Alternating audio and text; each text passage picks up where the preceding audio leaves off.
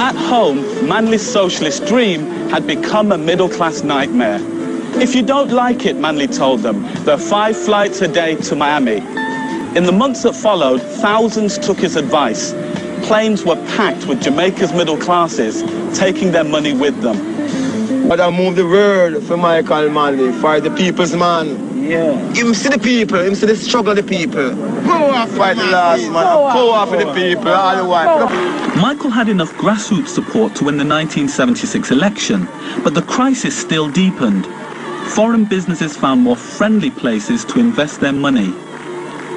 They frightened away every foreign investor that we had, and a lot of local investors at the same time, because they were threatened. They were told that they were not the sort of people that were not wanted here, uh, that Jamaica was going to be a socialist country, and that uh, the capitalist was no longer welcome. Uh, America was called a wicked imperialist capitalist nation and exploiter, and the whole ambience of the place uh, was very frightening to any kind of investment. Of greater concern, the urban poor were losing patience. Michael Manley had no choice but to bow to US pressure as his socialist dream of a free, equal, independent Jamaica crumbled before his eyes. He went to the World Bank and effectively handed over the running of the country to the IMF. Jamaica's future would now be in the hands of foreigners.